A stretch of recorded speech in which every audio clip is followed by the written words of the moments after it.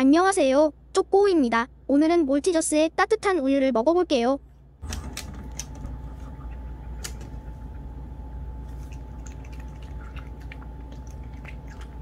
몰티저스엔 따뜻한 우유지.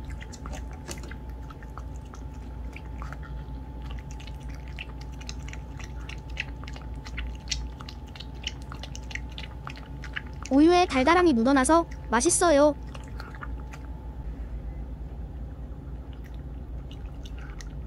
이젠 몰티저스를 먹어볼게요.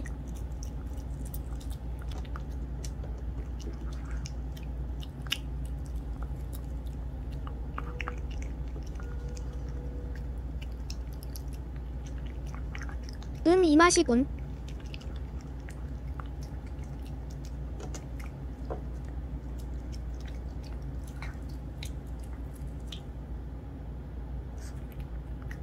초콜릿이 녹아있어 입속을 싹 감싸요.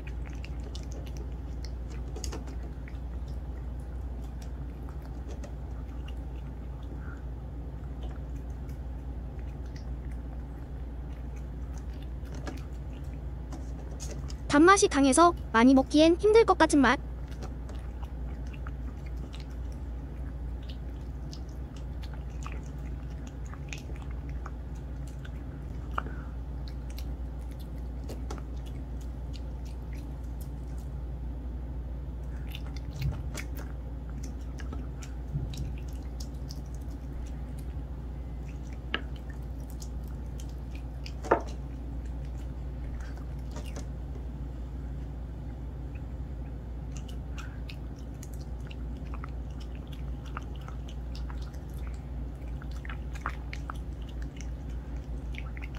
슬슬 몰리네요.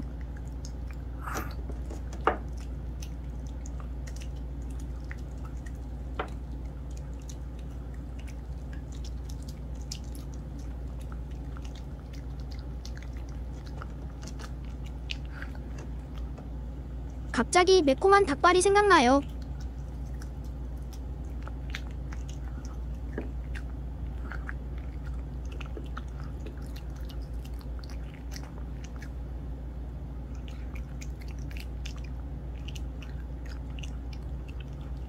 오늘은 여기까지.